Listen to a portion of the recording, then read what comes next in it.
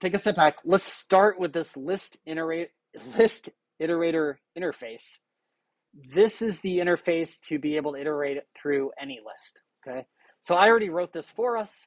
Um, these are the methods we're going to need to implement. We're, we're familiar with these from using um, iterators in the previous chapter. Here's next. Here's has next. Here's the add method. Um, adds an element before the iterator position, moves the iterator past the inserted element. Try to very clearly document the behavior. Here's the remove method, removes the last traversed element. The method may only be called after a call to the next method. We're familiar with that from chapter 15. Set sets the last traversed element to a different value. You'll notice there is no has previous or previous because we're doing a singly linked list. So our iterator is only going to have next. Okay. All right. We're going to implement this interface as an inner class inside of the linked list class. And that's our linked list iterator class. The reason why we have this is code that uses our class can use the list iterator interface as the type of their variable, but we have to implement that interface like in a, in a, in a concrete manner. So that's what we're going to do right here. We're going to implement the list iterator method. So I'm uncommenting this. Now it doesn't compile because we haven't implemented all the methods yet, but we're going to do that right now. All right, so let's think through what information does our linked list iterator need to keep track of? There are three things. It needs to reference, the iterator needs to reference the iterator's current position, where it's at. As we're going to see, that's insufficient. We also need to keep track of the previous node that we iterated over. We're going to need this in order to implement the remove method.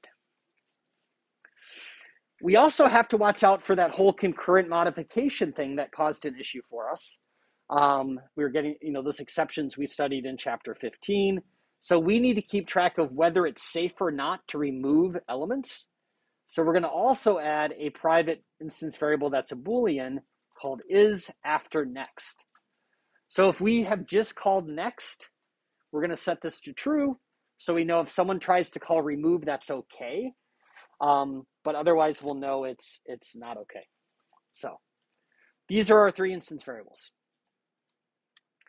Um, I want to clarify a few things related to that.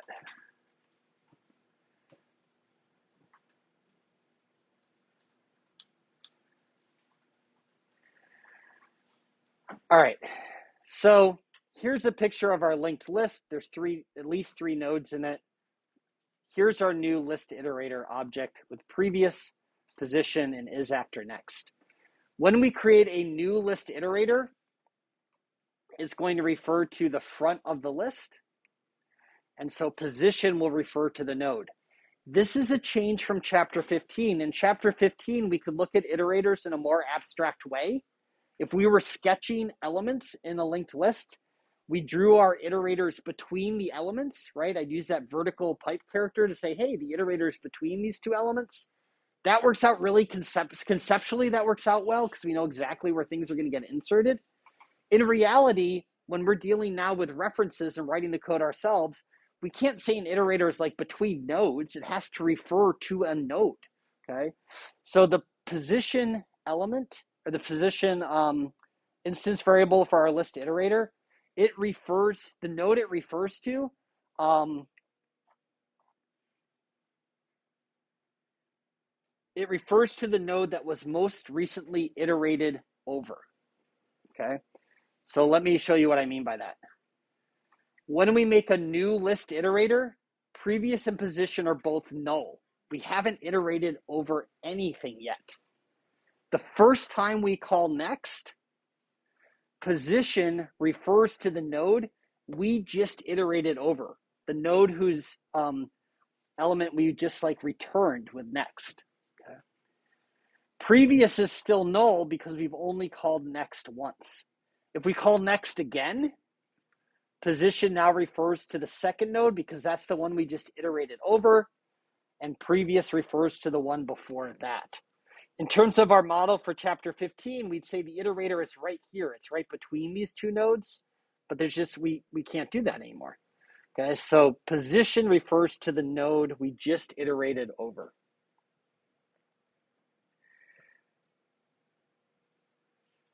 Any questions about that before we start writing the code? Like that's a big conceptual change and an extra layer of complexity.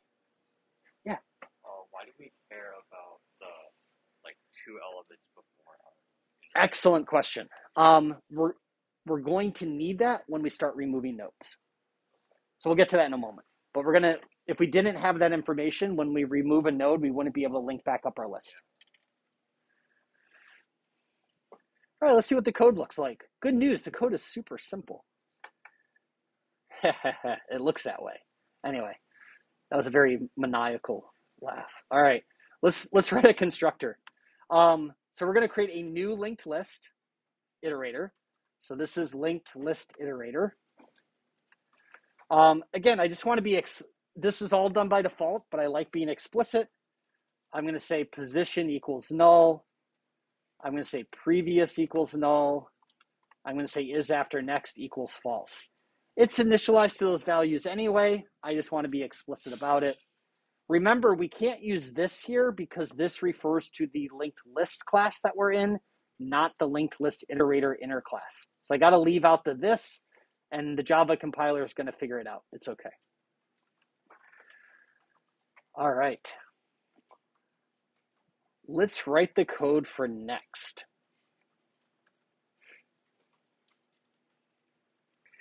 Here we do have to write, well here, method header first, public object next. It returns a reference to the object, not the node, but to the element. Um, we do have some special cases here. What if we call next on an iterator and there is no next node? We got to handle that. How do we check that? Well, we're going to check by calling the has next method. If has next returns false, so if not has next, that's a problem. Throw a no throw a new no such element exception.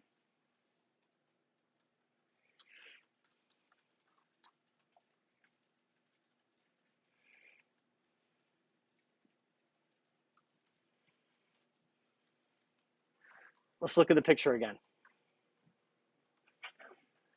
couple different cases to handle. When we call next, if position is null, that means we're at the beginning of the list and we need to set position to the first node. If position is not null, we need to set previous to what position was and set position to the next node. Okay? Lots of references going on here. So let's see what that looks like.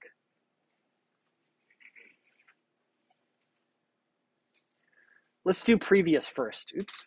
Let's do previous first. That's the easiest. Previous.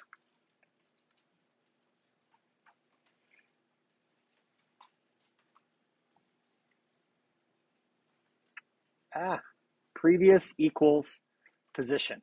Okay. If position is null, then we're just setting previous to null. That's fine. But if position isn't null, we're setting previous to be the node that we second most recently iterated over. We're calling next, so is after next is going to be set to true. That's good. We got to keep track of that. And then we do have a special case to handle here. If position is null, that means the iterator was at the beginning of the list. And so we're going to set position to first. It's going to re- now refer to the first element. That's the, or the first node. That's the node we just iterated over. Otherwise, if position is not null, we're going to set position equal to position dot next. And then finally, we're going to return position dot data. Again, we're not going to return position, we're going to return that node's data. This line of code is what really usually trips us up. Think about it. Remember, just with the assignment operator, we get the value of the thing on the right and then we assign it here. So, yeah, positions on both sides, which is a little confusing. But this says, hey, grab the reference to the next node and now store that as change position to be that. Okay. That's what we're doing here. That's the entire next method.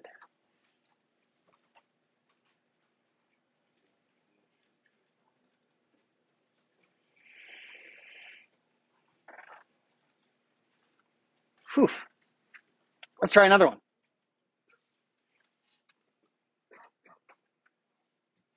Let's do has next. Public Boolean has next.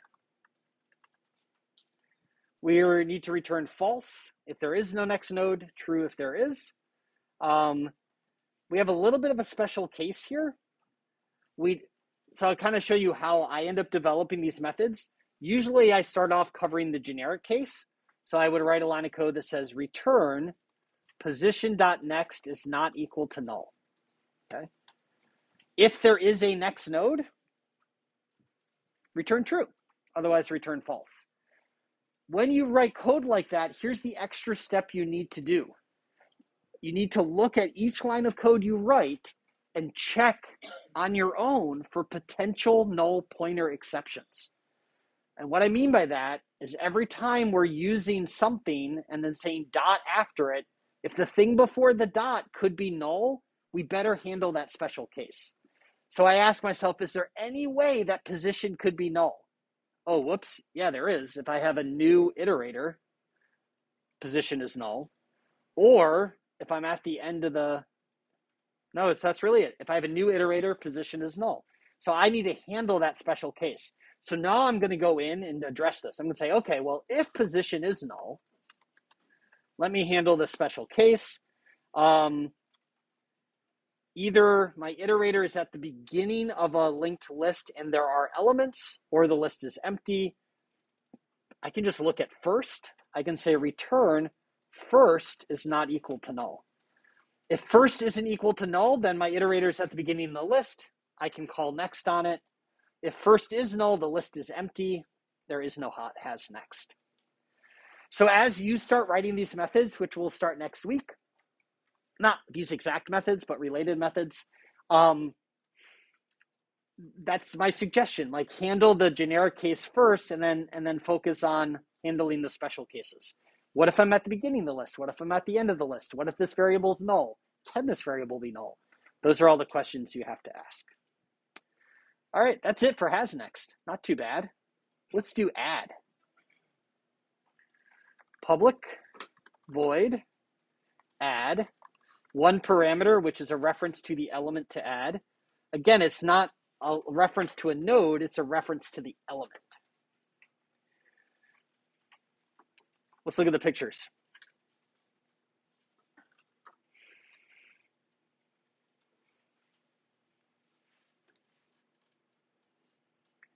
All right, two different cases we're going to do. What if our iterator is at the beginning of the linked list? Okay, that means position is null. Here's the new node that we're going to build. We're going to make a new node.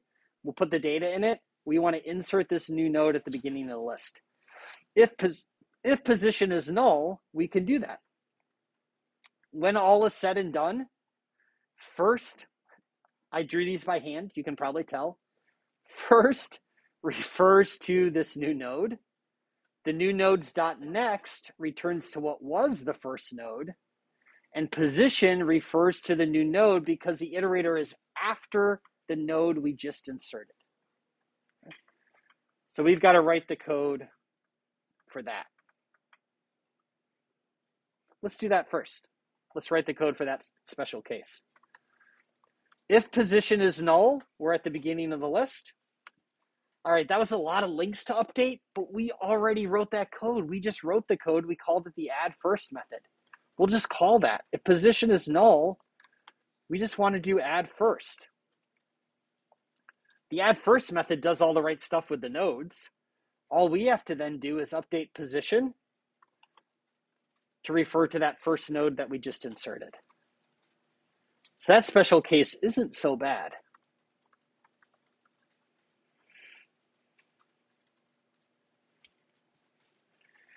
else, let's look at the picture. What if our list iterator is somewhere else? What if our list iterator is referring to the node Harry? So that means we just iterated over Harry. We want to insert this new node Juliet, meaning Juliet needs to be inserted between Harry and Romeo. What all needs to be updated in that case? Well, even more stuff. Four different steps after oops, sorry Four different steps. After we make the new node, we need to update the new nodes next to refer to Romeo. Okay. How do we find that reference?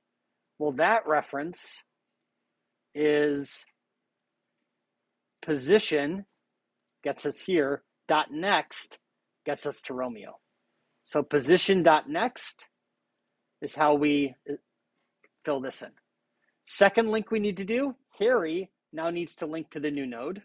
How do we get to Harry? That's just position. Third step, we need to update position to now refer to the new node because we just inserted it and the iterator needs to be after it.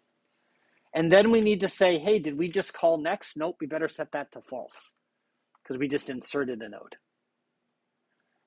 All right, let's do all four of those operations.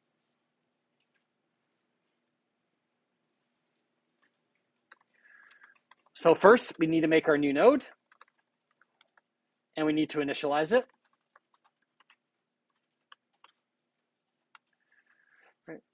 All right, step one, new node dot next equals position dot next.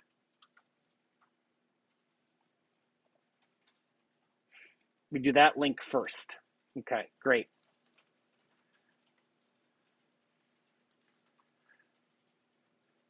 This line of code here is all about filling this in. Position.next refers to Romeo. We update here accordingly. Second step.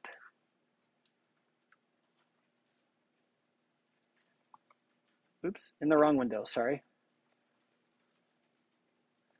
Position dot next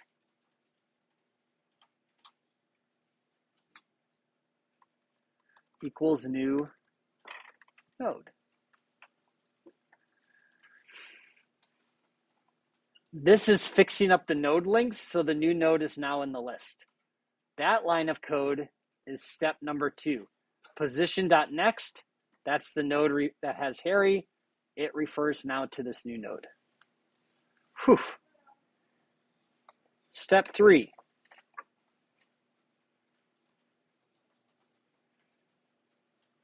position equals new node. The node we just added is the one that we need to reference from the iterator.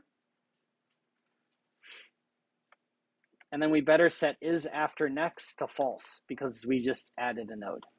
We're no longer immediately after next.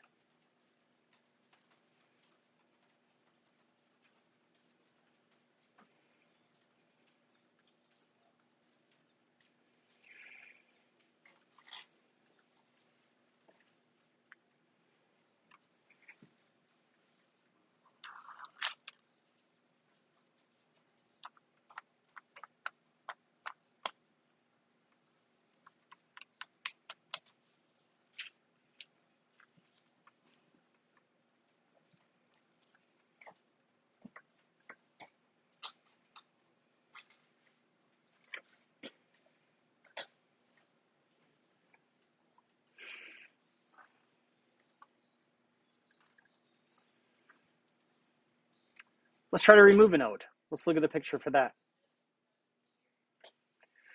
Two, again, two cases. Special case, calling remove when we're referring to the first node. So we've already called next once. We iterated over Diana. We're now calling remove, so Diana's going to go away. What has to be updated? Well, not too much. We just need the linked list to refer to the second node, and we need to update our iterator such that the position is null because we're now at the start of the list. Okay, that's it. Not too bad. So let's handle the special case first. So we'll go down here to remove, public, void remove,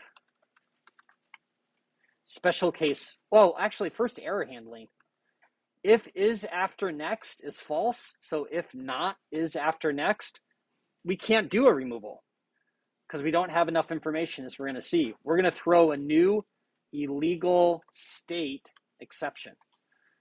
We're just emulating the behavior of the actual Java standard library linked list, If we try to call remove and we haven't called next, we get an illegal state exception. Now we can say if position equals first. So if we're removing the first node, what do we do? We just call remove first. Then we got to set position to null to make it clear like our iterator is back at the head of the list.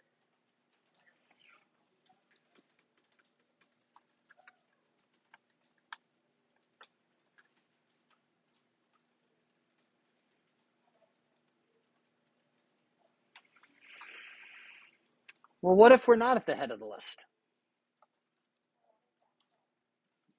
In that case, let's say our iterator is referring to Harry because we just iterated over Harry and we're going to call remove. That means the node that references Harry is going to go away. So, what needs to change? A lot more things. We need to have the previous node next refer to the third node in this list. We need to update position to refer to that previous node. And we need to uh, set is after next to false. We have a little bit more work to do. Note that previous also refers to this node. We can't update this because we don't know the node that becomes before that. So think about it this way the previous instance variable is only valid when is after next is true. Otherwise, we can't trust its value. Let's see what this looks like in code.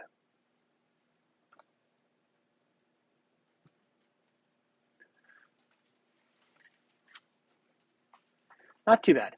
Previous.next equals position.next. That links in our example the first node to the third. Position equals previous. That fixes the iterator. Yes, the value of previous is now invalid, but that's okay because we're going to say is after next equals false. We're not going to trust it. That's all it takes. Not not too bad.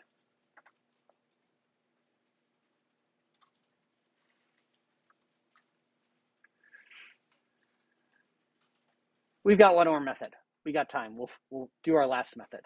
This one's easy. Public void set. This is the set method. So we're changing the value of the uh, element that's referred to by the node. Again, we have to make sure everything is valid here. So we're going to check is after next. If that is false, we will throw that new illegal state exception. Otherwise, we'll simply say position.data equals element.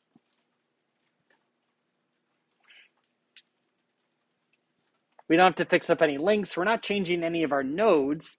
We're just changing the data referred to by the node. That's it.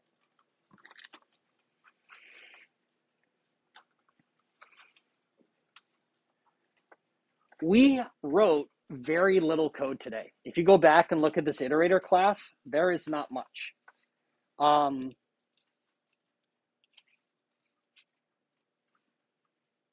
at all. However, the code is really complicated. Several years ago, like like maybe the second year teaching this, I got so confused by writing this iterator that I spent the entire class period doing it wrong.